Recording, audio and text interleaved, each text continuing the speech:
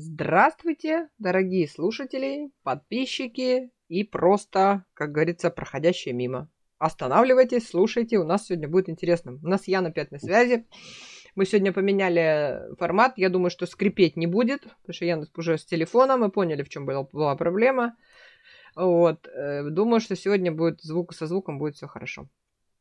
А вот, хочу э, Яну задать вопрос. Вот в прошлый раз, когда мы с ней беседовали, да, большая была такая беседа. А, кстати, здравствуй, Ян. Я что-то... Здравствуй. Мы, мы с тобой просто здоровались уже предварительно, поэтому я забываю. Значит, эм, в прошлый раз мы когда беседовали, я много чего рассказывала интересного, да, и уже, уже, ну, уже два часа мы говорим, то есть, понятно, длинный ролик, да, пора завязывать. И тут Ян пробрасывает еще одну такую интересную тему.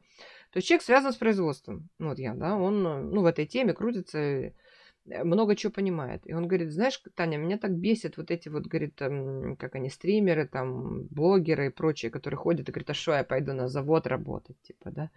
Вот он мне так сказал.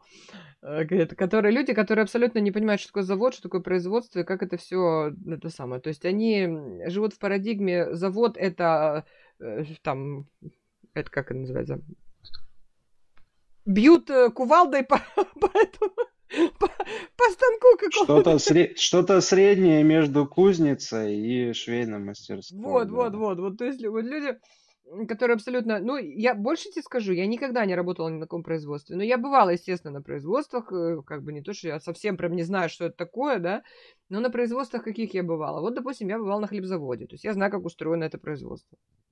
Я бывала на консервных заводах. Это институты, это вот, э, то есть нас направляли, мы там, знаешь, это самое. То есть я, ну, консервные заводы уже, конечно, более такие, ну, там, масштабные, серьезные, там, автоклавы, там, вот эти вот всякие, я помню, пим, пим, пимпочку нажимаешь, оно тебе поднимает вот такую вот здоровую штуку, потом куда-то вот оно там опускает эту здоровую штуку, знаешь. Ну, нас студентов, конечно, кидали в основном на, мы стояли, короче, наклеивали ну, короче, кры, на крышечку зеленый горошек, я помню, помнишь, это такое есть зеленый горошек? Так вот, мы зеленый да. горошек на крышечку наклеивали такую пи пимпочку. Мы стояли на конвейере и наклеивали пимпочку. Студентов дальше этого конвейера не пускали, потому что там серьезно уже было производство, уже там нужна была подготовка. Конечно. То есть горячие цеха нас уже не пускали. То есть мы стояли на этом конвейере и на упаковку наклеивали, короче, это. Вот, потом еще нас в склад пускали, там еще нам разрешали что-то такое, но там уже погрузчики, опять же, эти склады, знаешь, это все, то есть нам тоже, ну, какие-то там пере перебирать э, вещи, то есть нам давали, ну, очень-очень. То есть это все, что я знаю про производство. Вот все. Вот. А мне, правда, интересно, как, что такое современное производство вот вообще? Ну, вот как бы, что такое современный завод? Вот тебе слово. Ладно. Ну, здравствуйте, Татьяна, еще раз. Да, здравствуйте. Всем зрителям, всем подписчикам, всем, кто смотрел. Вот. Но я отвечу на ваш вопрос, на текущий, да, то есть, но я немного с предисловия хотел бы начать, вот, потому что я, я почитал комментарии, вот, узнал о себе все и еще даже больше, чего я не знаю, да, вот. Но в свою очередь, наверное, как мы в прошлый раз начинали с географии, наверное, вот сегодня немножко по, по ней пробежимся, а потом к заводам, я думаю, мы придем чуть-чуть совсем. Вот. Ну, Алексею привет очередной раз. Посмотрел я ролик, и раз там была речь про Владивосток, я могу про, про Владивосток сказать забавный факт. А, во Владивостоке есть ван, вантовый мост на остров Русский, да, который многие знают. Это известный очень долгий проект. Вот. Но на самом деле во Владивостоке вантовых моста два. Они очень похожи, вот, и часто на картинках путают один с другим. Ну, вот. А один называется «Золотые ворота», а второй «Мост на остров Русский». Чаще всего показывают именно первый. Вот. Отличить их между собой можно очень легко. На остров Русский у него опора похожа на букву А, то есть она сходится наверху. А у золотых ворот она расходится в разные стороны. Как, как золотые ворота, ну то есть как Сан-Франциско мост, да, опора, они у него также стоят. Ну, вот. Второй момент меня, конечно, там с Красноярска однозначно по песочек. Объяснили мне, какая река главная, какая не очень. Вот. Но, тем не менее, ну, допустим, Валаверды вернул в Красноярске, что, ну, кто не был там, вот, например, горнолыжка в Красноярске прямо в городе находится. То есть не надо никуда ехать, она прямо в городе там.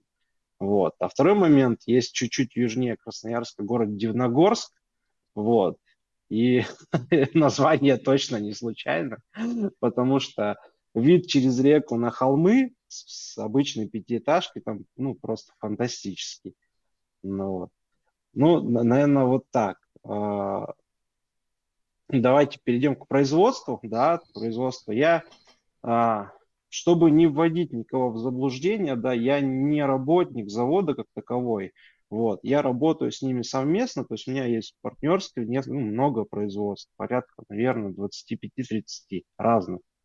Вот. Есть те заводы непрофильные, на которых я был из чистого любопытства самостоятельно. Некоторые со мной прошелся, например. Вот. А, почему к блогерам, да, вот эта вот штука, то есть, ну, я, ну то есть, э, им в комментариях пишут, иди работать на завод, да, они говорят, что я на завод пойду, то есть мне здесь хорошо. Ну, каждый, конечно, должен заниматься своим делом, но при этом, а, как бы, работа на заводе не так плоха, как про нее думают на самом деле. То есть э, завод в, в главном понимании это, конечно, технологический процесс. Чем больше завод, тем сложнее процесс. Ну, вот. А в безусловно максимальная дисциплина. То есть на каждом участке уровень ответственности колоссальный. Вот. Я был один раз на металлургическом комбинате, вот, а потом в интернете увидел ролик, я, ну, не оттуда, а вообще, как у людей прогорел а, ковш с расплавленным металлом. И он шел по цеху на кранбалке, просто поливал весь цех расплавленным металлом, потому что прогорел. Вот. Это ошибка на технологическом процессе. Вот. Ну, вот и, и ты, и он, и первая мысль на ролике была, как это все потом убрать. Угу. Это все, что полил он под собой, да, как это все потом убрать. Это вот. подожди, этом... это, это хорошо, что по, по ходу людей не было, то бы так, по, так полил, что... Конечно, конечно, конечно. Там, где в живых не остаться, однозначно никак. Вот. А, не, ну, я был именно на металлургии, то есть не был на алюминиевом заводе, к сожалению, не попадал.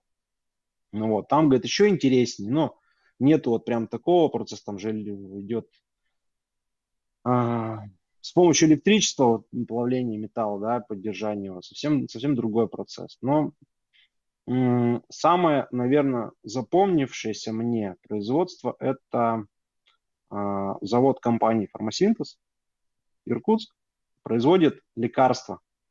То есть это завод, производящий таблетки от туберкулеза, если не ошибаюсь. Ну, может, сейчас у них клиника расширена и так далее.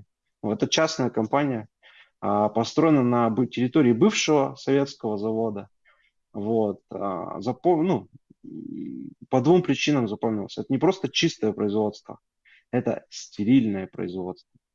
Да, нельзя войти в одежде. То есть тебя обязательно дезинфицируют, тебе обязательно выдают полностью антибактериальную спецодежду, и только так ты можешь туда пройти. Естественно, с а, никаких самостоятельных передвижений ты идешь обязательно с сопровождающим тебя, вот. Не контролирующим, а сопровождающим. То есть он помогает тебе больше помочь сориентироваться на самом деле, чем э, оградить тебя от чего-то. Ну, то есть ты все равно не полезешь туда, понятно, потому что в...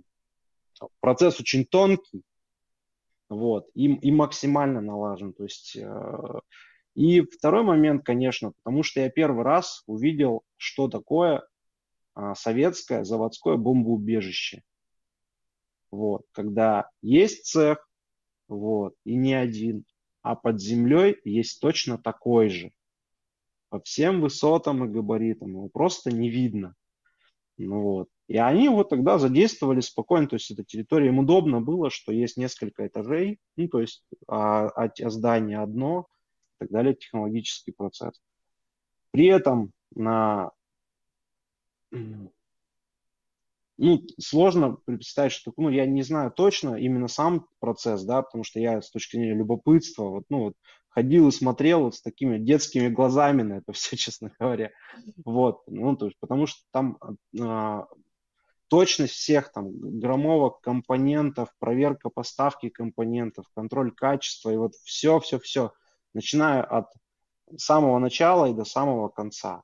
То есть э, а, второй важный момент, который они сказали, завод не должен останавливаться. Ну, то есть он должен всегда работать, всегда максимально работать. Нет, говорит, у нас нет такого, что ты вышел из цеха и выключил свет. Вот. Сейчас, может, по-другому, ну, то есть, опять же, я был энное время назад. Но это, да, меня потрясло, что он постоянно э, производит, производит, производит, производит. Вот. И чем сложнее завод, тем дороже этот простой. То есть, чем больше людей работает, вот, тем дороже время, которое он просто останавливается. Второе предприятие, которое, наверное, меня зацепило, это э, опытно-конструкторский завод. Это там, где делают сейчас путинский лимузин. Это вот. Аурус? Его делают там. Да, это Аурус. Там, где его создавали изначально. Вот. А, был в этих цехах. Ну вот, как на картинках в фильмах показывают, Примерно так и есть. Чисто, аккуратно, все в форме. А, обязательно все, ну, все соблюдено. Ну, вот. При этом как, завод эталон уборки вообще. Ну, то есть все всегда на своем месте должно лежать. То есть всегда где, ты знаешь точно где, как, зачем, почему. При этом, поскольку это завод опытного производства, то есть э, он не постоянно штампует продукцию, да, то есть там технологический процесс все выстраивались заново. А, то есть здесь что-то должно, ну, то есть здесь новое нам должно это привести, здесь то, здесь мы это примеряем, здесь замеряем, и это важно. Интересный цех – это цех как раз где примерка компонентов происходит, вот, где одно с другим все сочетают, собирают, смотрят, подходит это или нет, если что, что-то вносят, какие-то изменения и опять по новой. Ну вот, а так все это происходит. Слушай, а вот, допустим, да. на, на каждом заводе есть свой какое-то конструкторское бюро, или это конструкторские бюро, которые раскиданы по этому делу, а, а на завод стекаются какие-то там идеи или документация, или как это вообще все происходит?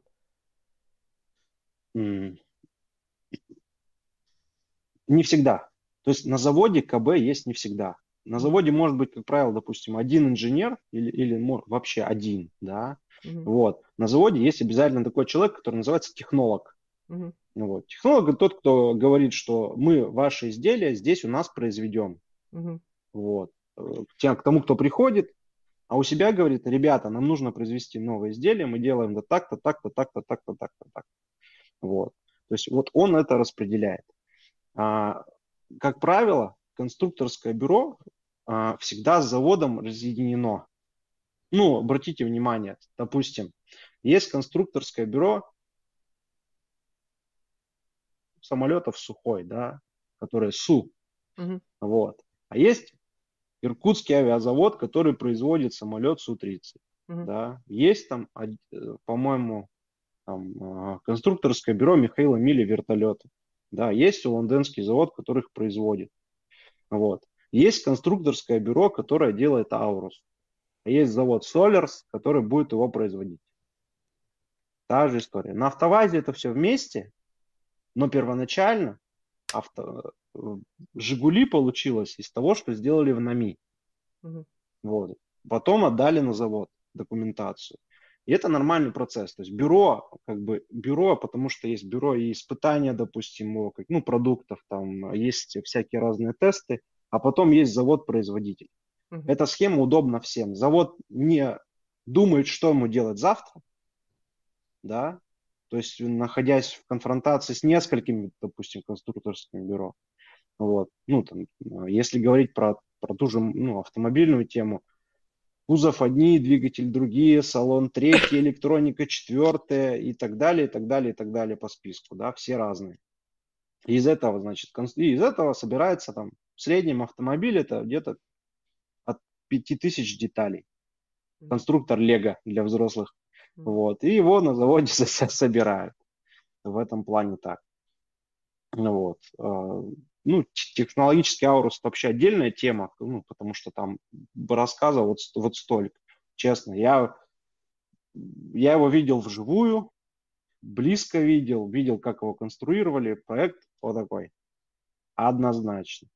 Ну вот, обалденный. Пойдет, будет жить, никуда не денется. Но а, тогда его, о, им очень повезло, потому что они закупили оборудование 2013 году в конце. Угу. А в феврале 2014 у них ценники выросли в два раза. Угу. Они успели в это окно попасть. Вот. И части ему очень повезло. вот. Это такая история. А, это опытное производство. Есть э, также, ну, есть заводы и небольшие, ну, то есть небольшие, есть заводы частные, есть государственные, это тоже большое отличие. Ну, то есть я не был, допустим, но мимо, когда я мимо проехал э, КАМАЗ в набережных Челнах, да, то есть это огромное предприятие, просто огромное, оно занимает несколько кварталов полностью, да, своим технологическим процессом. Ну, то есть по территории завода пешком ходить нет смысла, просто далеко. Mm-hmm. Вот. Ну, то есть тоже ребята просто далеко идти. У нас есть там ми, ми, ну, какие-то там свои или мини-служебные, чтобы просто добраться до какого-то цеха. Ну, то есть, потому что невозможно. Или автобус. Ну, вот. То есть, а, а самое большое, которое я, я сам не видел, но все делятся впечатлениями жутко, это Урал-вагонзавод техни, технологический, именно не сырьевой, да, а технологический, вот, который выпускает для обороны танки. Mm Вот. Это один из самых, больш, самых больших предприятий вообще в стране. Ну, ну, то есть его раз, размеры, объемы территории, там, говорит, уже не просто кварталами, там, городами считать надо. Ну, то есть по, количеству цехов. У нас, знаешь, в городе, в моем городе, где я ну, выросла, родилась, город Бельца, у нас был один э, оборонный завод тоже, да, который входил в ВПК э, советский, был завод Ленина. Так вот он, ну, да, квартал, квартал занимал, где-то так, огромный. Сейчас он до сих пор вот стоит, mm-hmm. потому что это собственность, получается, российская. Ну вот, а ее как бы на, на молдавскую эту не передали, и он там, не знаю, что, ну там вообще ничего не делается, ну вот там это все, знаешь, сохнет. Там как раз мой брат работал, mm-hmm. а работали они на, короче, у них э, была такая вот как э, их, их фишка, да, это эхолоты. Холоты, вот они вот этим uh-huh. занимались холотами. И на подводные лодки, и на, и на, на суда. У них там научно-исследовательская была, у них там судна, были научно-исследовательские судна, где они там ходили, там проверяли это все, знаешь, ну, свои эти э, фиг фигни. Вот как раз муж у меня по, по Да, поверху... испытательно, испытания да, проводили. Муж да. у меня поверху ходил, а брат по низу. Вот как раз они на одном, на одном заводе работали. Такое дело. Да, да, да. Ну, то есть а, есть, ну, также, а, ну, можно, заводы просто можно классифицировать всяко разно. То есть, допустим, есть вот как технологические заводы, да, выпускают там машиностроение, там танки, автомобили, самолеты, а, вся там спецтехника, там, ну, там экскаваторы, например, да, это там одна часть. Есть, допустим, заводы, ну, как сталелитейные, металлургические, да, то есть это цех обработки сырья. Туда же можно, допустим, отнести нефтеперерабатывающие заводы. Ну, вот. ну, частности, у нас там ну, для Слушай, а как э, тех вот людей... Как попасть вообще на этот завод работать? Ты приходишь учеником или ты должен все-таки закончить какое-то среднее специальное? Ну, какое-то образование у тебя должно быть. Как вообще? Как происходит туда набор Я людей? бы сказал так, как, мне, сейчас мне, просто, можно мне просто интересно, вакансии. вот это вот класс, рабочий класс, да, вот это вот, ну, прослойка mm-hmm. вот эта социальная, насколько она большая и как вообще туда люди попадают? И, и как поднять, кстати, mm-hmm. уровень престижа вот, этой, вот этих вот вещей? Эта прослойка, она огромная. То есть э, это очень просто определить, если на каком-нибудь там снимке с квадрокоптера или чего-то посмотреть, сколько машин одновременно перед предприятием стоит. Ну, то есть приехали на работу люди. Это, это только те, кто на автобусе не привезли, на служебном, как mm-hmm. правило. Вот, потому что э, вот это, вот парковка у гипермаркета, да, там в выходной день, это ничто по сравнению, ну, вот их 3-4, это, это парковка завода в рабочий день. Ну вот. То есть она полностью будет заставлена все, постоянно. А, приходят по нескольким путями. Первое, да, среднеспециальная, колледж, практика на заводе. Второе, институт, также там практика, завод.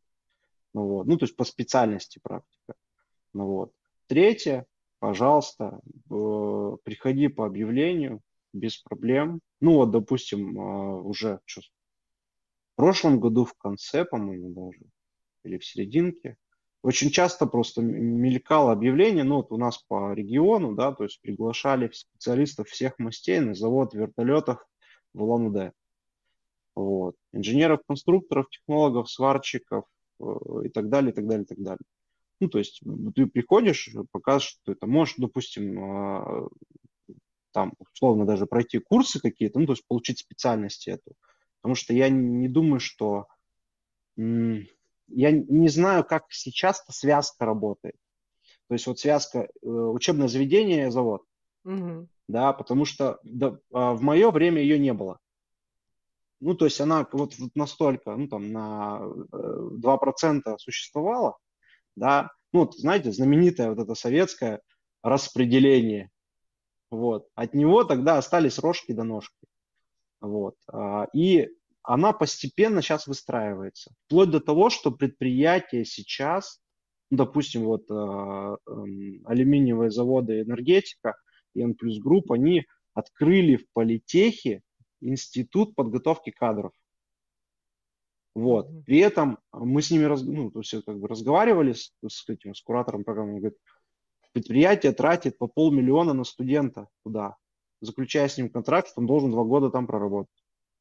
То есть они приглашают иностранных специалистов, лекторов, там, приглашают э, людей, которые именно специальность преподают, своих на предприятия водят куда надо, там свои дела, приглашают руководителей, менеджмент, читать лекции туда. Ну, то есть вот так эта работа выстраивается постепенно. А дефицит э, кадров вот. есть вообще на предприятии? Ну, и, и люди охотно туда идут? Огром, огромный. По-разному. Молодежь, я, я не знаю как.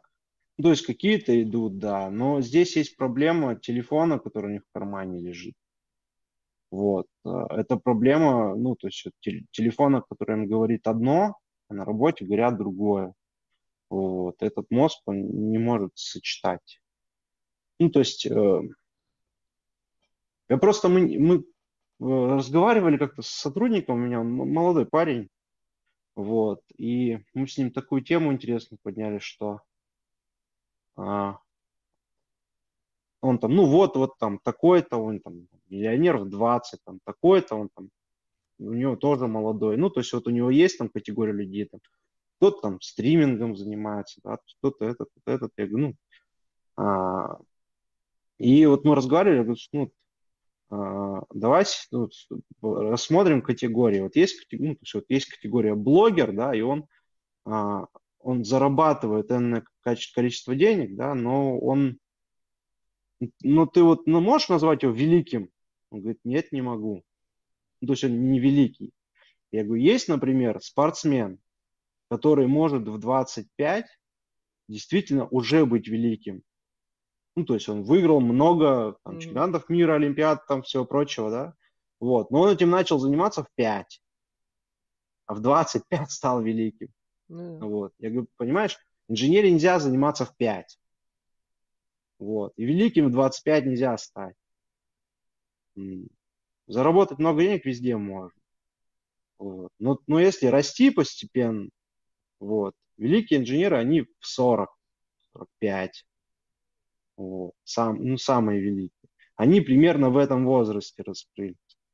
Самые, самые их известные проекты. Еще вот, знаешь, вот такая какая, тема. знаешь, какая еще фишка фиговая? То, что вот я почему хотела именно поговорить с тобой на эту тему и спросить вообще, как, как абсолютно не освещается труд, вот труд рабочего, да, тут нету интереса у молодежи вот к этому всему, понимаешь? Зато блогеры, зато э, ли коучи, личностные росты, э, э вот, по, по, понимаешь, вот, пожалуйста, иди там жопой засвети и, и будешь прекрасно получать денег, понимаешь? А про рабочий я нигде в интернете не встречала, чтобы там, ну, допустим, приходи на завод, там, будешь, там, не знаю, ну, я, я не знаю, как это называется, понимаешь, вот реклама, вот этого. Смотри, вот смотрите, вещей. короче, как, вот какая история в этом плане. Абсолютно согласен, вообще не освещается.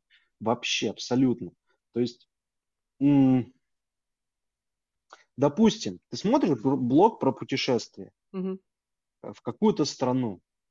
Там что показывается? Там горы, моря, закаты, угу. города, еда, бары бары, ну, еда вся, mm. да, ну, и, и все, что, и все, что там э, иногда не совсем нельзя показывать, вот, то есть, э, а, а вот, э, опять же, а, а допустим, ты едешь в, в, ну, вот в Италию, да, сколько людей ходили на экскурсию на завод Феррари, который открыт для посещения, вот, очень много, он открыт для посещения, можно пойти на экскурсию, Mm. Они тебе покажут, расскажут, как это работает, проведут по музею и так далее. То есть это культура.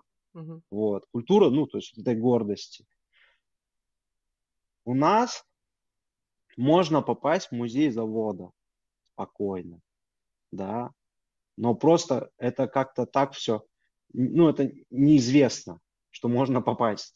Да. Вот. На я самом даже, деле, если, по, если попасть, знала, если да. я, не я вам больше того скажу. Вот. Я не знаю, если нас смотрят ребята из России, да, или, ну, или вообще у нас в России можно купить путевку на старт космического корабля на Байконур или на Восточный легально. Даты написаны, регистрация, то есть ты должен купить заранее чуть-чуть, подать документы, чтобы тебя зарегистрировали, потому что там пропуска за режимный объект вообще-то. Угу. Режимный объект. Вот. И, типа, пожалуйста, я, я, я раньше думал, вот стоят на Байконуре люди, наверное, какие счастливцы, их Роскосмос пригласил там, и они смотрят, как прогресс э, уходит. Вот. Нет, они просто купили путевку. И все. Вот. Просто купили путевку. То есть э, это без проблем. Я вам больше того скажу. Точно известно, что ты можешь зарегистрировать там какую-то свою группу, ну, словно, друзьями собрался, вот, и пойти на экскурсию на атомную электростанцию. И выдадут экскурсовода, он тебя везде проведет, все покажет, пожалуйста. Вот. То есть, а если ты, допустим, приезжаешь на Ленинградскую АЭС, это, это агро, она еще, я не знаю, она больше уже Запорожская или нет, но, ну, в общем, ну, ну, огромное предприятие, то есть, ну, технологически продвинутое, сумасшедшее. Ну, вот, пожалуйста, никаких проблем. Вот. А, сюда же к освещению какой-то степени, не, то есть какой-то непопулярный туризм, и они, и они немножко сами еще, видите, закрыты. То есть они думают, что блогер к ним попадает, чтобы найти, как, как ревизор, ну, как это, ревизора. То есть он у них будет искать вот эту вот каждую пылинку, да, как, он как проверяющий будет у них ходить. Вот. И будет их вот всяко разно, значит, жули за то, что не делают. Ну, и определенная э, истина в этой репутации есть. Ну, то есть она не просто так появилась, да, да. То есть, но, но при этом рассказать о том, как э, я как-то помню, просто смотрел интервью блогеров, довольно-таки популярного в России, он научно такой, научно-познавательный производит контент. Его спросили, говорит, а вы хотите там на космодром попасть? Ну, то есть вот, ну, говорит, да вы знаете, вот мне звонили, предлагали, но вот я не знаю, как на меня посмотрят люди, если я поеду на космодром, буду хвалить там российскую космонавтику. Вот. И вот я сижу такой, идиот. Между тем, хотите ли вы проехать на космодром, и ответом, да, должно проходить меньше одной секунды вообще в принципе в этой жизни. Вот. То есть, соответственно, немножко поменяется. Они, короче, вот руководители этих предприятий, да, и вот э, политика эта, она немножко осторожная пока еще. Но это, этот узел уже потихоньку расходится. Почему? Потому что с головы все начинается. А с головы мы имеем что? Росатом ведет YouTube-канал, открыто показывая стройки, как они идут, интервью с генеральным директором, без проблем. Роскосмос ведет YouTube-канал, там все, даже телеграм-канал Роскосмос ведет, понимаете? Ну, вот, да. чё ж. Вот. То есть, и он рассказывает, показывает и так далее. Они еще пока побаиваются, что их начнут как-то ругать за что-то. Хотя Слушай, а если, они... а есть действительно ведь хорошая тема. Каждое предприятие, допустим, да, как, как, которому нужны ну, люди, сотрудники, там, не знаю что, почему бы им не завести каких, какой-нибудь интернет-канал? Показывать свое предприятие самостоятельно. Рассказывайте, конечно, рассказывайте про то, про свое производство. Мы познакомились в прошлом году с парнем нашим местным, он здесь, вообще история. Вот. Короче, и они как-то где-то а, а, ремонтировали старую гусеничную технику. Ну, покупали, ремонтировали, продавали, да, угу. вот. Вот такой, такой перекуп, короче, ну, продвинутый, угу. вот, вот. И в один момент им сказали, ребята, нам нужно 20 штук. Угу. Я уже не помню, нефтяник или казаки, он говорит, мы, говорит, не можем 20, мы можем только 3. Угу. Он говорит, а 20 сделайте. И он говорит, подумали ночь, ну, ну сделаем, короче. Mm. вот. И подписавший контракт, начали строить завод, потому что другого варианта не было. вот, сделать 20. Mm. То есть их нельзя нигде было купить, их можно было только сделать. Ну вот. И сделали. Ну и продолжают сейчас до сих пор производить ну, гусеничную технику для там, сложных условий и так далее. Ну вот. Она и в тех самых местах, я думаю, работает. Ну, естественно, об этом там никто сильно не распространяется. Ну вот. Хотя вот, ну, то есть вот простой пример, то есть как это работает. Слушай, а вот, допустим, При этом... на, на крупных предприятиях рабочим, и, ну, допустим, приезжает молодой пацан, да, ему предоставляет ну, комнату в общежитии или что, жилье, то есть как это все? Есть какая-то социальная поддержка Знаете, именно работников? Честно говоря, я не знаю, как это сейчас работает, поэтому ну, вот, э, конкретно не владею информацией. Я, я наверное, спрошу. Угу. Я спрошу у ребят, которые работают именно на крупных производствах. Раньше знаю, что помогали с... Эм, на предприятиях помогали с приобретением жилья, то есть с этой ипотекой, вот этой вот всей историей. Вот, то есть, ну и помогали там где-то на взнос, там, ну вот все вот, всю вот эту штуку там где-то льготу оформить. Mm-hmm. Вот. А, однозначно могу сказать, что у предприятия большого особенно а, очень классная социальная жизнь. Mm-hmm. То есть большой коллектив это всегда как, ну, вообще как говорят малыш, прикольное движение. Mm-hmm. Вот так. То есть это всегда как, как это, это соревнования ли, походы, ли концерты или, или просто какая-то самодеятельность. Даже какой-то, это заводской КВН может быть вполне вообще. Вот. А как, как у врачей, у завода тоже свой юмор, он тоже как бы своеобразный. Вот. Э, да, как там говорят, лучше не слушать, как врачи шутят, да, за вашей спиной. Вот. А, и в этом, ну, то есть это всегда, это всегда так. Оно почему-то не, ну, тоже, опять же, не, не раскрывается. Хотя,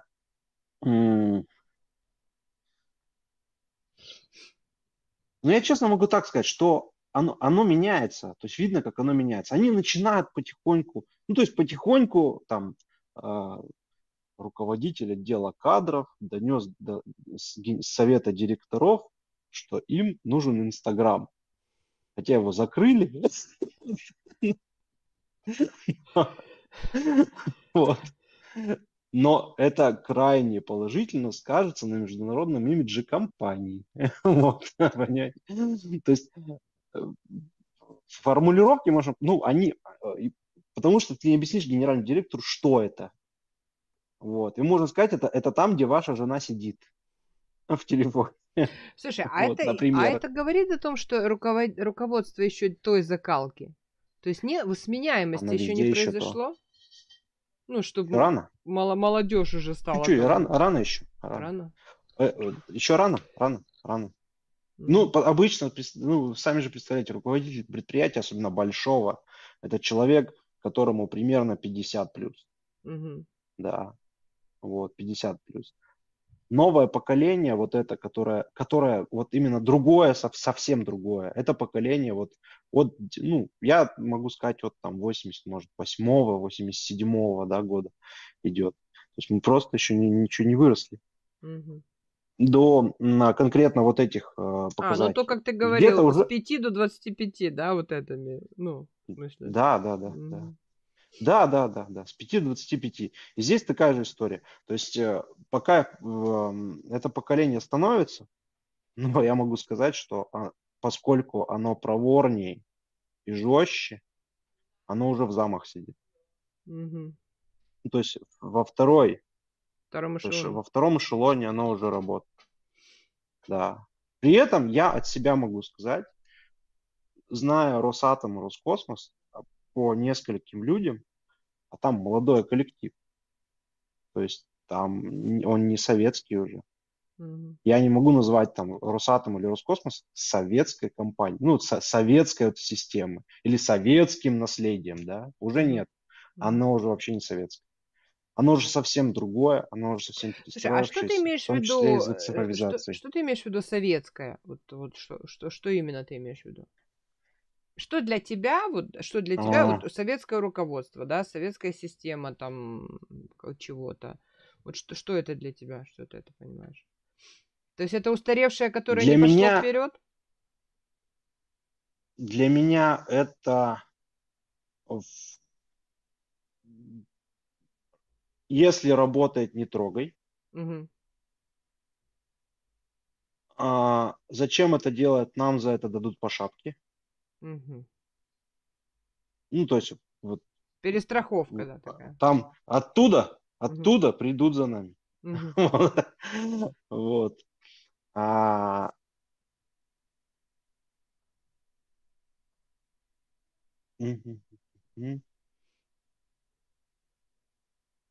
Ответственность, вот это. Ну, это два, два основных прям. Да, ответственность, ну, вот ответственность, да, и как бы сказать, и вот а, советское желание, знаете, такое, вот я, я не знаю, как вот его описать правильно, советское желание что-то себе вот выкроить. Вот, вот, вот что-то, от, вот зачем ты, ты атомные бомбардировщики производишь? Что ты хочешь себе взять? Ну вот мне на дачу, вот, ну условно, да? То есть ты имеешь в виду коррупция? Ну, такая, в каком-нибудь виде. Я бы не, назвал это э, коррупция, это если ты а, я, для я... своих интересов платишь. Я, я знаешь да? что? Подожди, я, я, я а вспомнила, а это как скорее... это называется. А что мне из-за с этого будет? Вот это выражение. А что да. же я с этого буду иметь? Что я с этого буду это иметь? Тоже, да? Это тоже коррупция. Это тоже коррупция. А mm. что же я с этого буду иметь, с ваших интересов? Mm. А здесь это, как сказать, а, такое подворовывание. Вот его нельзя воровством прям назвать, потому что оно никому ущерба не доставляет. Mm-hmm. Но если шифер не нужен, вот, то что он тут лежит? Ну, вот. ну то есть вот вот. Если вы возите гравий в город, ну что, вы мне не можете привезти, да? Вот. Ну, то есть, вот, вот понимаете, это вот оттуда. Испо- использование служебного положения хоть как-то, да? Вот, вот, вот, вот это правильно, да. Вот ис- использование служебного положения для себя, да. Да, я понял. Вот, вот это для, для меня это советское. Угу. Вот. А, а молодняк Есть чем грешит? А молодняк грешит тем, что им надо все и сразу. Угу. Ну, то есть, э, как бы, э, молодняк приходит и говорит, я институт закончил, давайте мне там, условно говоря, зарплата 2000 долларов. Угу. Сейчас за какие заслуги? Что ты готов для меня за нее сделать? Да, я работать с вами буду прекрасно. Глаза шикарные. Ну, то есть, э, как? Ну, да, все сразу. Чтобы вот там у меня там, условно, там новая машина, там квартиры, чтобы я ездил в путешествия, там еще что-то. Хотя я уверен, что в большинстве случаев они не знают, зачем им это еще. Ну, то есть, и не, представляют, что это, и не знают, зачем им это. И в этом плане вполне, ну, то есть э, амбиции, ну, это нормально, как бы, я тоже такой был, и сейчас нормально. Ну, То все есть, такие я, были. я, Я тоже, когда пришла э, после... э, Ну, короче. Все дураки, я конечно, одна ну, умная. и берете лучшего в мире человека, что вы будете, чуть-чуть на него пожалеете, что Пока, знаешь, вот. пока меня э, мордой вот так вот, знаешь, и не, и не запхали в мои же амбиции. Вот. То есть, а, так и не было бы проблемы-то, понимаешь, если бы оправдывалось это все, да, то есть, ну, если бы это все подкреплялось, вообще бы никаких проблем не было. Ну, а второй момент, э, ветреный. Последнее время очень сумасшедший. Ну, то есть, э, как это? А, устроился, работает, начало получаться, вот. Раз все бросил, не мое. Я пойду себя искать. Зачем? Что? Да. Какого? Ну, то есть, то есть вот это как, короче, какая-то психологическая волна, вот это э, разбирательство путем бездействия. Ян, у меня полное ощущение, что вот такое вот э, состояние у молодняка, вот когда он приходит, начал работать, да, все не мое, пойду себя искать, практически, ну, процентов 90 проходят через это, через вот это вот желание свалить, уйти дальше, искать что-то, да, э, сменить обстановку, сменить сферу деятельности, прочее, прочее.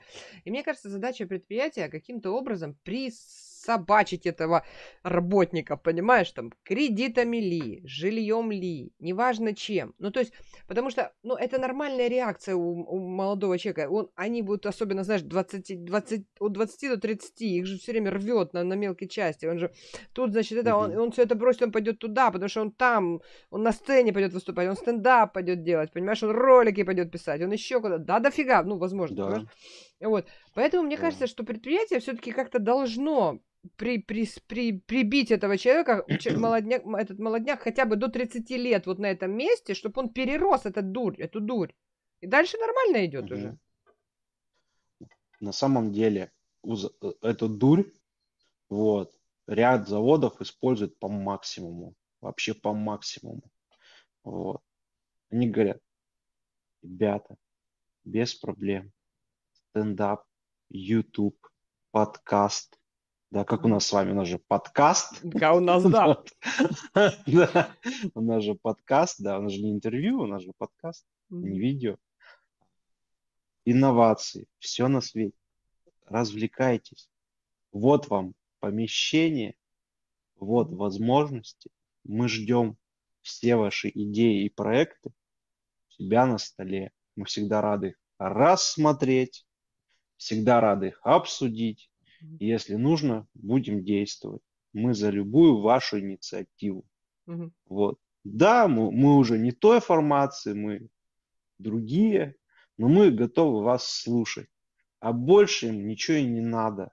Любой молодой ждет того, что его с распростертыми объятиями, с его желаниями примут на самом верху, поддержат и дадут возможность. Мгм. Все.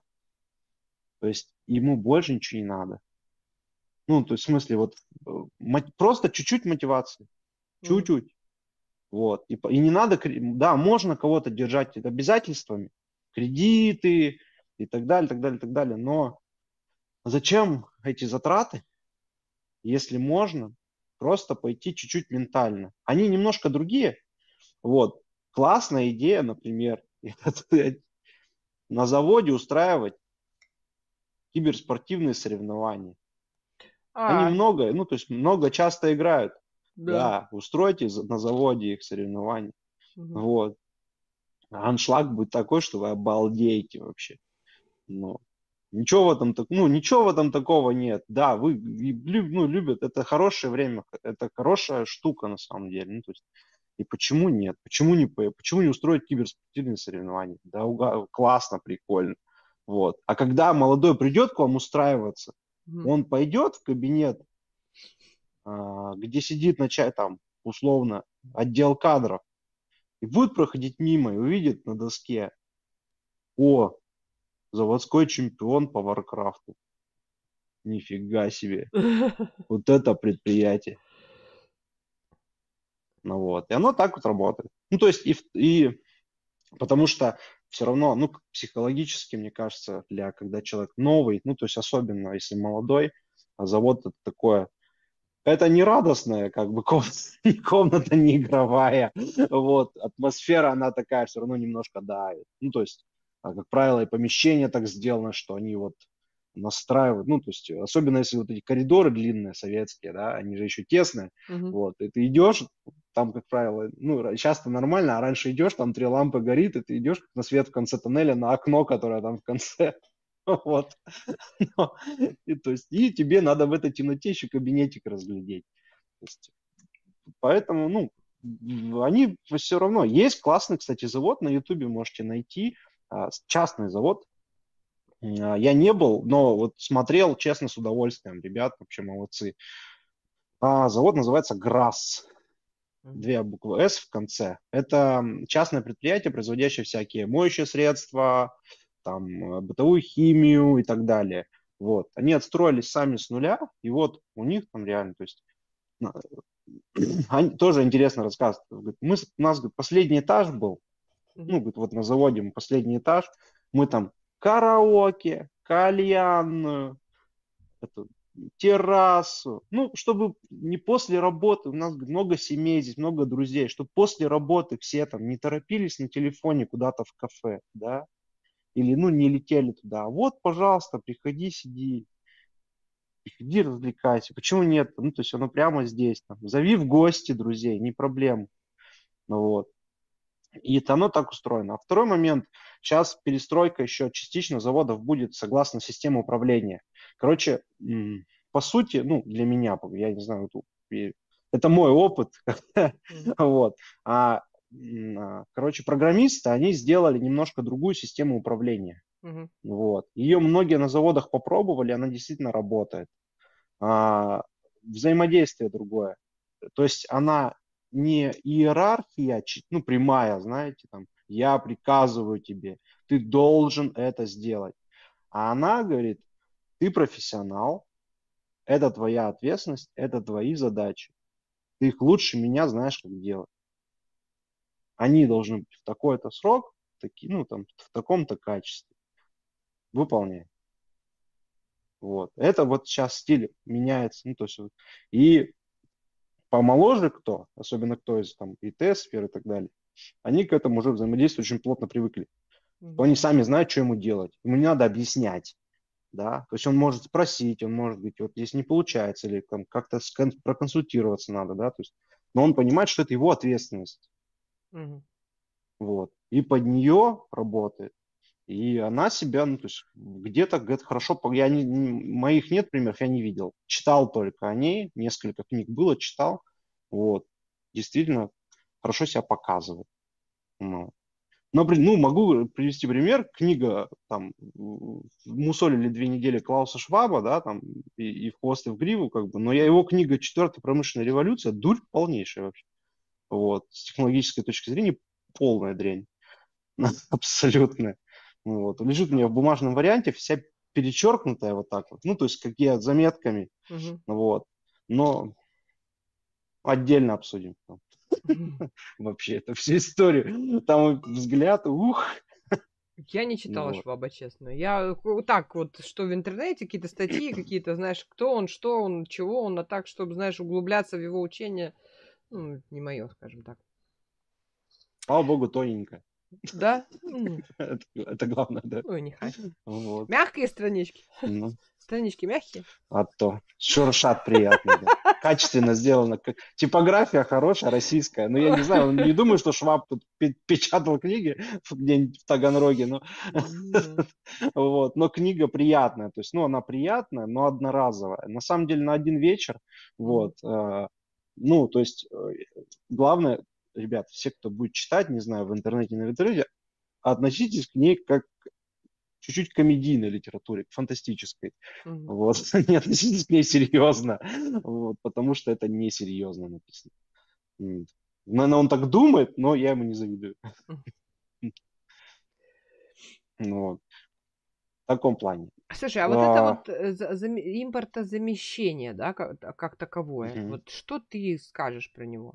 Что ты вообще видишь? Как оно вообще происходит? Объявили же еще с 14 да? 14 15 Но пока только слово придумали, да? Ну да, и, ну вот Слышали? я вот как ты там изнутри. Это, это шутку. Угу. Но на самом деле в 14 а, я, я, наверное, проведу такую аналогию. Короче, чем хлеще санкции, тем лучше импортозамещение. Угу. Потому что по кому в 2014 санкции ударили, угу. те начали срочно делать импортозамещение. Вот. Но хорошо, что не начали делать его как вот пятилетка, в три года, вот это вот все. Угу. Вот. А начали делать с умом. Угу. С умом из этого импортозамещения выросла корпорация Русагра. Угу. Вот. Корпорация Русагра – это экспорт зерна, да, все вот это, вот это разработка полей и так далее. Огромное предприятие. Территориально раскинут очень широко. Вот. А из этой корпорации выросли поставщики сыров, производители, ну, там, э, уже мяса современного. Оно продуктовое, потому что оно там жестче всего было. То есть э, с этими, с польскими яблоками, вот эта вот вся история, я помню, да, то есть э, поэтому стало работать. Это стало там работать. В технологической сфере все просто ценники подняли и успокоились. Угу. Ну, как там, выросло в два раза, ну, ценники поднимем в два раза. Вот, и успокоились. Его не было. А, сам, ну, то есть, для, потому что я видел, оно было в каких-то минимальных параметрах. Вот. Но в основном, где можно было закупать, там закупали.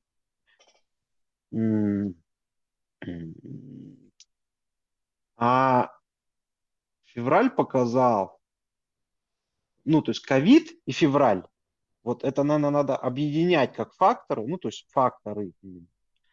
Ковид показал, что, оказывается, в вашу страну не всегда может приехать вагон с нужными вами деталями, просто потому что так сложилась ситуация. Вот. А февраль показал, что оказывается можно за один день, ну там, условно говоря, за один день взять и потерять весь рынок поставщиков своих, с которыми ты давно плотно взаимодействовал. Вот. Мало того, что потерять, так они еще тебя пошлют ни за что. Ну, просто ты им конкретно ничего не сделал. Вот. Ну, то есть были такие, ну, то есть были такие письма. Ну, там наши в ответ, там, а, я помню, как этот пиар-отдел предприятия сказал, почему они нам пишут русский корабль, иди нафиг. Вот. Ну, это что, причем мы даже не, корабли не производим. Вот. А, соответственно, ну, оно, нач... оно тогда вот оно началось. Началось серьезно. Пример импортозамещения был на прошлой неделе, да, новость была. А, КАМАЗ полностью импортозаместил свою последнюю модель 2020 или 2019 года. 2300 деталей заместили. Года не прошло. Одного года не прошло. Сменили всех поставщиков. Полностью. А это, ну, чтобы понимали, это интеграция с Мерседесом была. Угу. Этой модели. Вот. Поменяли. Ну, признаюсь честно, у меня немецкая машина, а написано на ней сделано в России. Угу. Вот. Ну, ну, так и работает. Вот. И нормально сделано, нормально собрано. Ну, то есть никаких претензий нет. Автомобильные, кстати, серьезно импортозаместились. Они сделали так. Они сказали, мы заключаем договор с вами, а вы строите завод на территории России. Все. BMW, Mercedes, Ford. Mercedes, кстати, один из последних это был. А, Mazda, это вот сейчас, вот последний год они? Нет, они давно-давно уже, с 14 -го. Mm-hmm. 14 -го и дальше производят. Вот. А, сейчас это китайцы, ну, то есть они, они заводы строят, то есть не просто некоторые привозят, а именно предприятия ставят. Mm. Вот, и правильно делают. Что, они дураки, что ли? вот. В этом плане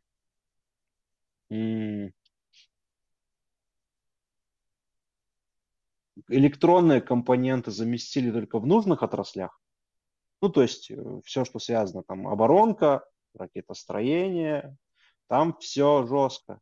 Mm-hmm. Ну, то есть, э, э, и это проверяется. То есть, если ты поставщик, тебя проверяют. Mm-hmm. Ну вот. А в этом же плане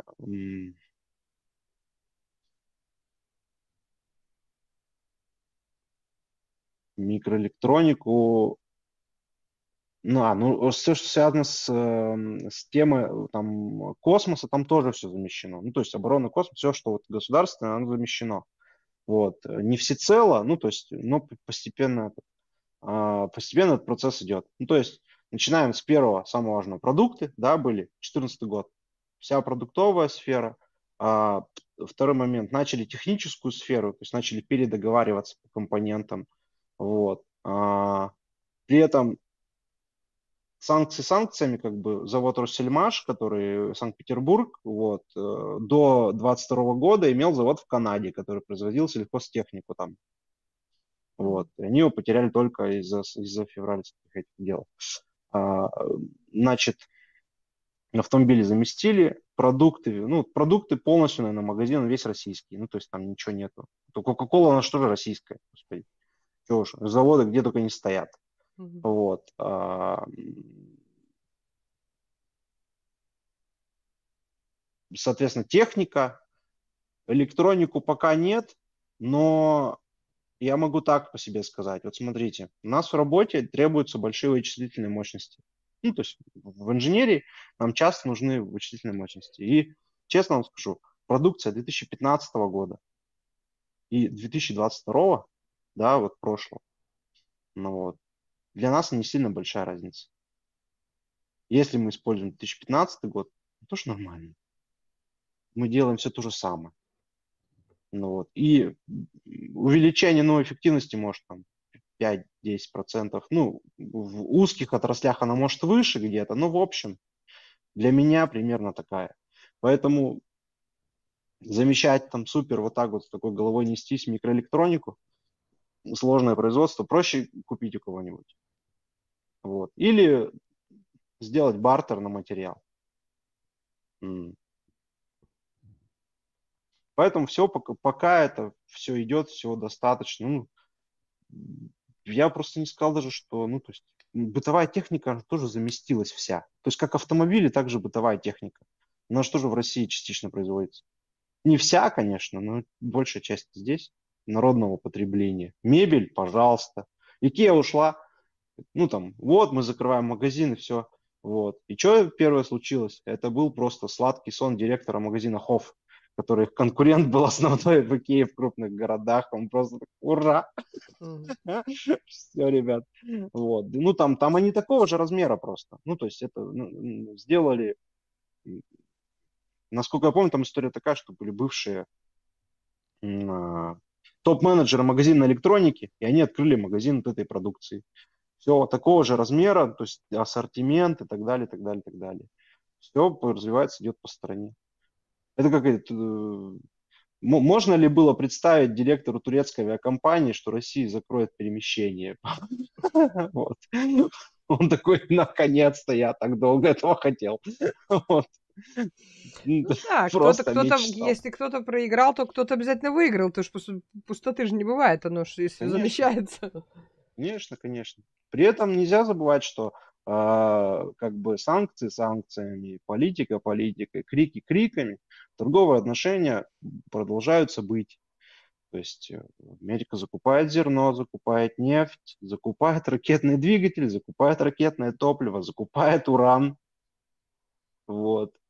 Ну, то есть они, они же так и не смогли, атомную программу сделали, а так и не смогли выстроить технологический процесс обработки урана, то есть обогащения, самый основной, без которого уже ничего. А, а может быть просто не напрягались, что если есть в России, что, свое, свой придумывать? Ну, это как, как, как импортозамещение, а... знаешь, вот если бы Россия перекрыла, допустим, на свой, ну, вот этот вот уран, да, то они бы там сделали это. А я думаю, что тогда нет. А я думаю, что тогда была другая ситуация. Не думали, нам для оружия хватит. Mm-hmm. Вот. пусть мы много угля жгем, э, ну там, э, топливо делаем его, нам для оружия хватит. Никто же не думал про атомную энергию. Угу. Ну, про мирный атом никто не думал. Угу. Вот. А, а, это, а это был Советский Союз, он как бы особо им не, не давал уран, вот, ну, сильно не приторговывал. Вот. А, а потом случилось интересное, что э, атомные станции расцвели, контракты на атомные станции э, стали заключать, оказалось, они зеленые. Угу. Ух ты, ничего себе. А в прошлом году Роскосмос просто их, наверное, посадил на одно место, сказал, что мы на текущий момент поняли, что развитие космоса без ядерной энергетики не представляется возможным. И у нас концепт новой космической станции российской, полностью российской, связан с атомной энергией. Угу. Вот. Ну, то есть он показал полностью, что он хочет делать в ближайшие там, ну, 50 лет условно. Угу. Ну вот. Они все это в прошлом году показали. И все. А как ты будешь космос дальше развивать, если у тебя конкурент это делает с ядерной энергией вместе? Связки. Ну, там, позвонив по телефону. да, я думаю, что там разговоры крайне простые. Нам то, то, то. То есть, ну, в таком режиме. Ну, вот. А как это надо гонять? Так что не знаю, как, сколько у них там Илон Маск на этих бегах продержится. Ну, посмотрим. Вот, но не, тяжело ему придется. Ну, прикольно. Как-то так. Ну. Интересно, слушай. И правда, вот про, про производство, про вот эти вот вещи, про импортозамещение, вот правда интересно было. Особенно про производство. Как, как это двигается, как развивается. Потому что, знаешь, мы же смотрим в основном новости все из Москвы, а в Москве какие нахрен производства? Там, ну, там, может, и есть что-то. Ну, есть что-то, но они почему-то тоже, тоже как-то особо не заявляются. В основном народ... Э, они не показывают. Да, в основном народ э, вещает э, какой-то, не знаю, фрики. Понимаешь, интернет-фрики. Ну да, но здесь, ну, про Москву меня песочили в комментариях про Москву. А Москва не будет, не будет расширяться, вообще ничего не понимает там и так далее. А, знаете, что-то выходные этот, э, вышел в чат рулетку, думаю, ну просто поговорю так, mm-hmm. чисто ну, не спалось ночью. Вот. И мы очень интересно разговаривали с парнем, который сам там из э, Тольятти, по-моему. Вот, в Москве живет. Это, вот. А, и мы пришли к выводу, что Москва от России отличается тем, что в регионе умеют быть счастливым, довольствуясь малым, а в Москве люди добиваются того же самого, только сверхусилиями. Ну, да. Те же квартиры, машины, путешествия и так далее, просто все дороже, гораздо дороже.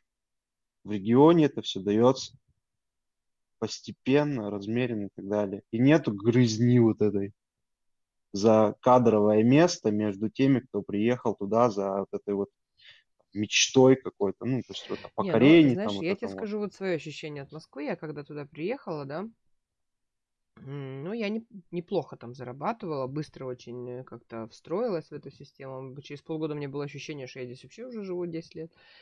Вот.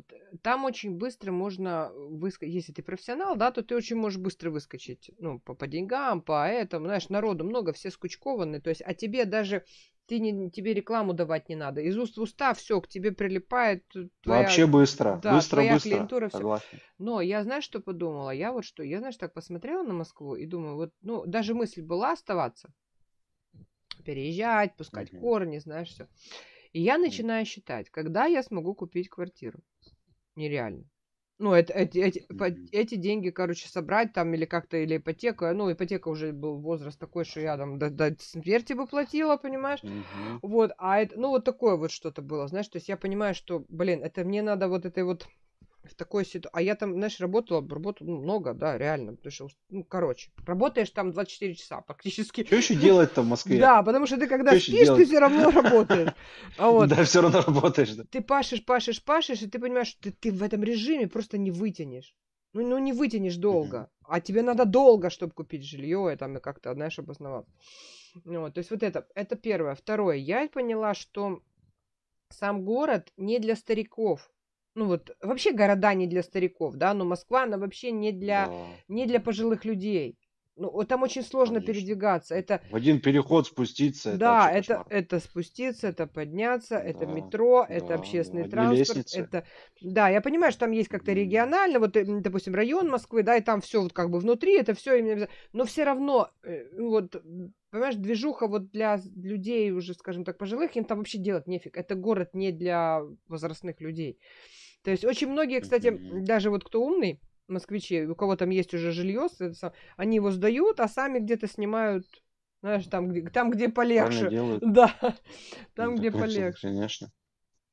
Вот. И такой вот, знаешь, именно шебутной этот он классный, он, он засасывает Москва, ты себе не представляешь, как он затаскивает тебя туда, я до сих пор, я до сих пор скучаю. Хотя вот моя, моя mm-hmm. душа, скажем так, вот моя душа находится в Санкт-Петербурге, да, а мозги у меня в Москве. Я все время все сравниваю с Москвой, знаешь. Вот, ага, в Москве это, а в Москве то. Я помню, приехала к себе в город, и думаю, там, мне же надо дойти вот туда, а там идти, ну, по нашим меркам, пять остановок. Все едут. Все ждут троллейбус, едут, это. А я думаю, какой нахер троллейбус? Тут два шага по московским меркам пешком, знаешь. Ну, то есть вот такое вот очень долго, то есть мозги здорово засасывает, конечно, Москва, ничего не скажу. Вот. Но опять же, проблема вот с этой текучкой. Профессионала найти очень сложно. Там, ну, как бы, если ты уже нашел, то ты его держишь как вот так вот, знаешь, то, чтобы, не дай бог, не упустить, за ним по всему городу ездишь, знаешь, как бы вот так. Профессионалы из рук в руки, только из рук да, в руки да, переходят. Да. да, да, да. При этом, а, соответственно, количество людей большое, и количество хреновых людей тоже большое. Вот. Если бы, я бы даже сказал, их большинство. вот, вот. Судя по, по, тому, по моему опыту, просто их большинство. То есть ну, найти да. какого-то хорошего, нужного человека очень сложно. Второй момент – это город обалденных профессионалов. То есть вы, вы в любой отрасли найдете в этом городе человека, знающего профессионального да, всегда. Сконцентрированного. Вот. Вы, правда, будете ехать до него полдня, скорее всего. Вот, но У меня даже мысли но, но он будет. купить машину, даже мысли не было в Москве, потому что я вот эти пробки, ну, это, э, смысла вообще нет, понимаешь, там вот в личном автомобиле для меня смысла там не было. Намного быстрее это все делается метро, чем вот, э, чем ты будешь по земле вот это вот тащиться, понимаешь? Вот, поэтому, ну, Слушайте, я был, уже каршеринг появился, 2013 год. 10 лет назад. Хорошая тема, да. 10 лет назад он уже был в Москве. Да, был. Первые, вот они первые открывались. Вот, я, я пользовался. Самокатов еще тогда не было, слава богу. А вот э, эти, эти машины были взять, ездить спокойно и так далее. Вот, э, плане, ну, в плане вот именно рабочей атмосферы вообще, ну, действительно кайф. Да, для вообще работы кайф. там все. Но Я это, для, это... для кайфа, скажем так, для жизненного кайфа там тоже все есть. То есть эти клубы на любой вкус, на любой. Mm-hmm. Там вот, самый изощренный вкус ты найдешь какую-то постановку. Понимаешь, я как-то поперлась mm-hmm. в театр Булгакова, там, короче, этот, эм, как его, господи, фамилию забыла который играл в интернах этого...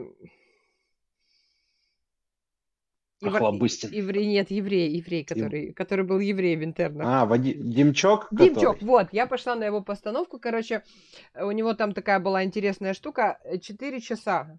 Представляешь, 4 часа. И вот мы сидели 4 часа и смотрели. Это студенческий театр, это такая, знаешь, вовлечение зала, это я, я, я кайфовала вот в этом всем, знаешь, вот в, в, в, в этой всей, mm-hmm. это мое, знаешь, мне понравилось. То есть на, на любой ду- дурацкий свой вкус ты найдешь что, что, все, что тебе надо.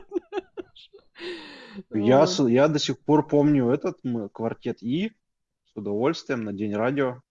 А я не, а я вот, так, прям... а я вот такие не люблю вещи. Я люблю эксперименты. Вот. вот Арликиниада называлась, вспомнила. У Демчака есть Арликиниада. Вот это. Mm. У нее там ну, серьезно. Даже, по-моему, не 4, а 6 часов, по-моему, мы, мы тогда так торчали. Обалдеть. Театр Булгакова, да. Э, ну, такой, он такой подвальный, знаешь, в, в подвале, и, uh-huh. знаешь, там не очень большой зал, и вот он как бы обкатывал всю эту, всю, всю, весь, всю эту uh-huh. постановку, знаешь, и как бы это явно было, что это еще не конец, он будет выбрасывать что-то, да, из uh-huh. этого всего. Ну, вот 6 часов он показал вовлекая залы, ну, это пипец. Вот он, вот он здесь Демчок сидит, вот здесь вот бегают эти артисты, вот это я тут сижу с друзьями, понимаешь, мы кофе пьем тут, понимаешь? Ну, весело, классно вообще, на самом деле. Москва — это Москва, это ничего не могу сказать. Театр практика там тоже ну, ходила на, это, на эти дурости все дурацкие. Есть такое. Нет, там действительно на любой вкус и кошелек. Да. Все есть. И причем бюджет, на, найти бюджетно, пожалуйста, понимаешь, вот найти бюджетный магазин, самый бюджетный, вообще копеечный, Легко. пожалуйста. Найти какой-то высшего, высшего этого, пожалуйста. Найди, вот ты смотришь на Я... свой доход, угу. идешь в, в тот магазин, по которому, по которому да. ты, ты ощущаешь свой доход, и там все прям вот, ну, то есть... От меня в этом плане отдельная благодарность Беларуси, потому что у нас рядышком была белорусская ярмарка. Да, кстати, да. Вкусня... На ярмарке Обалденно. Особенно осенью. Просто. Да, они там такое вот привозили. Я... Они такое... Я, я не знал, что это все в Беларуси растет, если честно. А я, вот. знаешь, а я знаешь, чего угорала? Вот не угорала, а просто там погибала. Когда они привозили вот эти свои творожные массы с разными всякими наполнителями. Вот это вот uh-huh. типа творог, uh-huh. но там в твороге Тут изюм, тут курага, тут орехи. Тут да, я знаю, что это такое. Знаю, у нас, и я вот эти творожные массы себе, знаешь, брала штук 8 видов, потому что я их все любила, и вот я потихоньку, знаешь, их вот это, это моя любимая была в белорусском, да, в Москве. Ну ладно, что-то мы уже с тобой ну, тоже наболтали. Я могу в этом плане финишировать одну простую тему, которая Давай. Э, перебью, извиняюсь, что да, все, есть, все. например, когда вот ты живешь, ну, то есть в Иркутск, Москва, допустим, вот, mm. ты всегда, или когда летишь в Москву, у тебя всегда один продуктовый набор, который ты отсюда берешь. Да. Вот. О, омуль. А, ну, холодного копчения, как правило, горячего не довезешь. Ну, часто просто mm. не, до, не доедет. Вот. А кедровый грильяж, конфеты mm-hmm. и, э, местные. Вот. И майонез. Сюда все верят майонез. Вот. Ну, потом местный майонез, я не знаю, в чем, ну, то есть в чем, но реально, вот вкус реально отличается, могу сказать точно, что действительно хочется потом местного майонеза после, ну, какого-нибудь другого, не mm-hmm. знаю почему. Ну, прием, при, привычка такая вкусовая. Mm-hmm. Вот. Иногда еще я здесь брал, ну, то есть местный кефир, ну, это опять же по, по вкус детства да, то есть вот, вот такой набор. Сейчас с собой таскаешь. Ну, как правило, омуль, грильяж в подарок, майонез себе. Я помню, у меня брат из Мурманска привозил тоже с одним и тем же, это рыба. Такая здоровая, знаешь, ну это за... И ну, у них там море, там трехлитровая баночка красненькая и трехлитровая баночка черненькой. Ну, вот это вот, понимаешь, да? И корочки. И вот это, это... Uh-huh. без этого не приезжал никто. Если вот у нас, э, короче, приятеля э, есть друг дальнобойщик, mm-hmm. вот, и он ему периодически заказывает во Владивосток и красную и краба. Mm-hmm. Да, он краба, камчатского краба в холодильник кладет в машине. Вот, вот. Я раз еще... его и приезжает. Я еще помню, знаешь, что какую-то струганину он привозил, но это откуда-то с другого места, не с Мурманска э, струганину еще из я не знаю еще короче вот это мясо которое вот надо стру... стругать знаешь вот да мороженое вот... настроганное да. Блин оно такое да, вкусное. да, да. я да. сюда приехала знаешь когда я попробовала да охотники мест... же. Местную прошуту да я поняла что с той uh-huh. струганиной она близко не стоит ну то есть намного вкуснее понимаешь. Но это прошута распиаренная на весь мир а то нет. Uh-huh. почему? Потому что не умеет продать. Понимаешь да. Я попробовал, в прошлом году меня угостили, первый раз вообще ел. Эм, называется, не помню, как правильно, может меня поправить там в комментариях. В общем, э, по-моему, бурятский шоколад. Угу. Блюдо. Это э, свежемороженое, свежемороженое, козья печень. То есть только после охоты и раз ее заморозили. Угу. Вот. И когда она начинает таять, то есть ты как строганину ее отрезаешь, угу. макаешь соль. Угу. Когда на язык кладешь, она начинает как шоколад таять у тебя. Поэтому шоколад. Угу. Вот. Вкуснятина. Обалденная вообще. Угу. Просто невероятно. Ну, то есть э, она мягкая же, ну, то есть там, в отличие от какой-то там говяжьей, ну, то есть жарить не надо, она, она ну, свежемороженая, она мягкая, но она именно свежая, то есть ее только сделали тушу, она сразу заморожена. Вот, говорит, второй раз, говорит, уже когда разморозишь, говорит, она уже не та. То есть вот когда, говорит, только вот раз, она сама то. Ну, то есть при этом я могу сказать, то есть мне без проблем, я могу купить э, завтра, сходить медвежатину, никаких проблем в этом нет. Ну, то есть спокойно, охотничий магазин, пожалуйста. Вот. Изюбрятина, козлятина, ну, то есть по сезону, да, то есть медвежатина и так далее. Ну, медвежатина специфическое мясо, ну, но, но оно супер полезно. Угу. Вот. Ну, врачи говорят, для, для, ну, как вот если есть, говорит, типа, животный белок для мужчин, говорит, то медвежатина это самое полезное из этих белков, ну, то есть белковое мясо, потому что, ну, просто прямо, ну, помогает, заряжает. Действительно, я, я попробовал обалденно. На, на, на этой вкусной ноте. Да, да, будем закругляться, спасибо. И, и поболтали, и интересно, да. и, и повспоминали. Спасибо тебе большое. Давай все-таки, знаешь еще да, какой еще, что хочу, на что тебя хочу попытать? Технологические mm-hmm. уклады.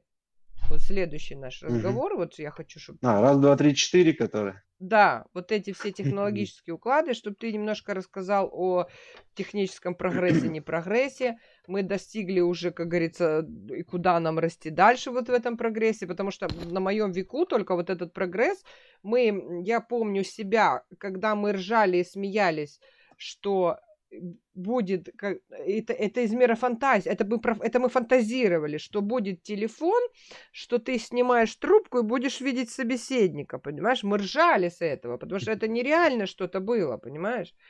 Ну вот. И, и на моем веку все это прошло. Дын-дын-дын-дын-дын, понимаешь? Следующий этап какой? То есть потребление, да, вот это произ... супер производство всего и вся, то есть уже столько все доступно, что я Глобализация, вот, да. Я, да, я тебе скажу, когда лет э, где-то, ну, с десятого, не, ну, не, не, не с нулевого, с десятого года я перестала смотреть на ценник того, что я кладу в корзину. Понимаешь, то есть настолько вот mm-hmm. люди, ну понимаешь, да, то есть вот это все, вот это вот. Э, вот, если до этого я шла на рынок, и я, у меня был список, и дальше этого списка я не выходила, понимаешь, то сейчас я иду mm-hmm. в, вот это вот все, и даже не смотрю на ценник. А вот. Э, что будет дальше с нами? Вот как ты видишь это? Угу. Это, но это уже наш следующий разговор. Mm. Это я специально затравочку такую делаю для наших зрителей. Давайте поговорим про, да, про технологические уклады, которые там первый, второй, третий, четвертый, да. И что нас ждет, сейчас... да, и к чему готовиться, ну вот как типа прогнозы. На каком, может, да. Спасибо тебе большое. Я, ну, ну то, что знаю, я попробую вам Ну, поговорим, да, что я, вот. что-то это. Мне кажется, давайте, такая, такая беседа будет интересна. Все, пока-пока. Давайте. Ладно, все, давайте, счастливо.